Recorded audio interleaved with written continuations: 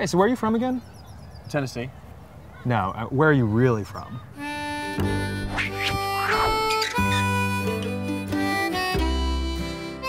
my god, like how do you eat with a fork and knife? That's so hard. I could never do that. Your English is great.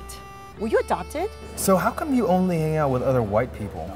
You must be really bad at math. Come on, guys. Don't you have trouble telling white people apart? Like, I can't tell you guys apart. Look at me. I'm white. You know, you're so unlucky you're white because your people are just naturally fat.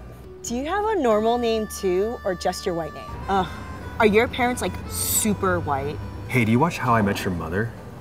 I'm so into white culture. I love white accents. Hey, I ate cheese. You know, I've been really into Western religions lately. Like, I love how they're so angry and uptight, you know?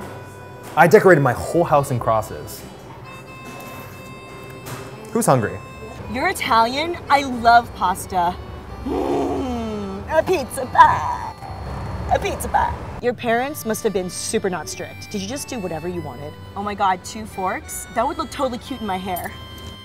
I just love dating white guys because they're so large and overbearing. Hey, uh, you know I'm really into white girls. Just white girls. Hey, where are you going? Come on.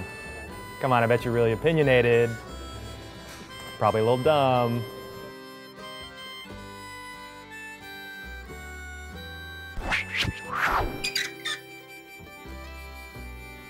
I have like kind of round eyes, so I'm practically white.